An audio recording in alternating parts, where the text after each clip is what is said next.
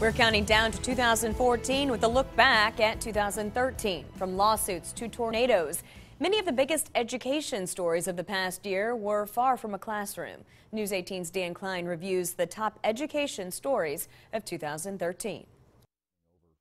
Much of the year's top education stories begin January 19th as Glenda Ritz is sworn in as the state superintendent of public instruction, having beaten incumbent Tony Bennett in the previous November's election. She remains the only Democrat to hold statewide office. In May, technical issues plague ISTEP testing, affecting nearly 80,000 students, including many at Lafayette area schools. Ritz is seeking more than $600,000 in damages from test producer CTB McGraw-Hill. A hired independent reviewer in July found that the problems had little effect on scores. Still, school officials have doubts. How can you can say that all students uh, had an equal shot at doing well. There's that's still questionable, I think, in a lot of people's minds. On September 18th, ISTEP results are released months later than usual. Ritz's predecessor Bennett stayed in the news even as he had moved on to a similar post in Florida. In July, an Associated Press investigation of Bennett's emails showed he possibly manipulated data so Indianapolis charter school Christel House could get a better letter grade. But the legislature's review called the changes plausible because formula changes were used consistently on more than a dozen other schools. Bennett came under fire again in September, accused of violating election laws by having state employees work on political activity. The Inspector General filed a formal complaint with the state's Ethics Commission in November. A hearing is scheduled for January. But Ritz was immersed in legal battles of her own.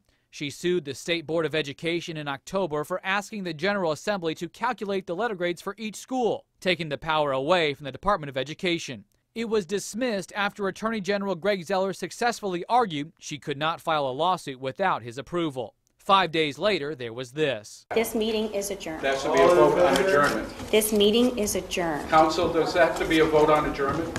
You can't adjourn without a second, can you? This meeting is adjourned. A chaotic scene. Ritz, the chair of the State Board of Education, adjourned the meeting before the board could vote to move oversight of a career readiness program away from the DOE, giving it to an agency created by Governor Mike Pence this fall. Both sides met with an outside mediator earlier this month, but have been unable to come to terms. A disagreement between a superintendent and school board sent shockwaves through Benton County this fall. Thank you all for coming. I appreciate you all being here. More than 130 came out in force to protest a contract change for Dustin Haas giving him a $25,000 payout to leave early. I'm not going to make any comments on what the reasons are. He was hired by North Newton two nights after the Benton vote. We're excited about getting Dustin Haas. Frankfort schools lost three administrators over criminal issues. Middle school principal Mike Ettenberger faces six felonies in Michigan in a child porn case. His replacement, middle school principal Dennis Howland, faces a pair of OWI charges in Boone County. And assistant high school principal Tori Horner resigned, accused of criminal conduct with a child. I could understand if, if parents, if their confidence is shaken. In May, after 63 years of service, Woodlawn Elementary School in Monticello closed for the last time. The year in education saw new laws take effect in July, including an expanded voucher program and an anti-bullying legislation. A new alternative school in Reynolds called The Crossing opened in August. Mintonye Elementary and Southwestern Middle School students were sent to a new school of their own after a November tornado did millions of dollars of damage. Kindergarten through sixth graders are now at First Assembly Community Ministries. Seventh and eighth are at Wea Ridge Middle School. From the classroom to the courtroom, one of a number of education stories from 2013 that will continue to make headlines in 2014.